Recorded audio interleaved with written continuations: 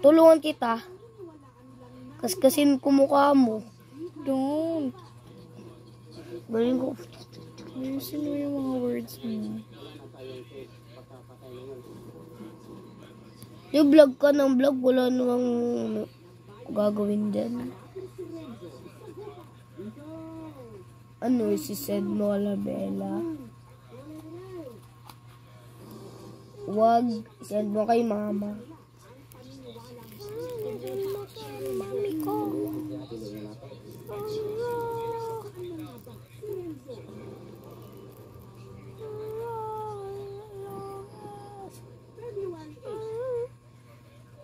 amoy slime. Nagtira No, it's not. Don't touch it. I told you not to touch it.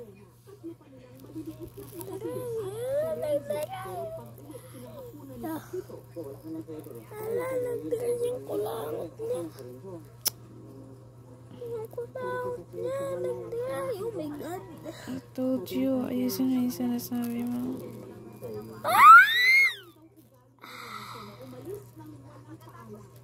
Awas, guys. Kulangot. Ala, di pa natanggal. Medyo masakit talaga siya. Nakakaiyak. Pero yung nabibili sa convenience store talaga. Yung una kong paggamit ng ganito guys. Like talaga, naiyak talaga ako. Wow. Kasi nga ano. Kasi nga, di pa ako marunong gumamit nito. Saan na yung... Nilikatarin mo na lang kaya.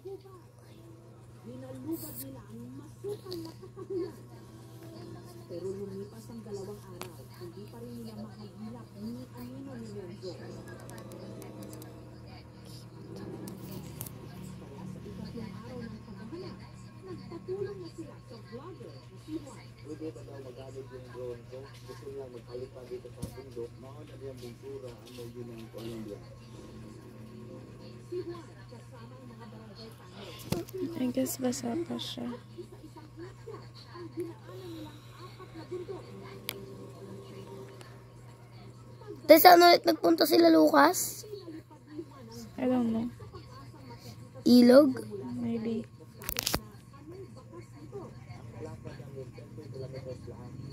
Ah. Basa pa siya.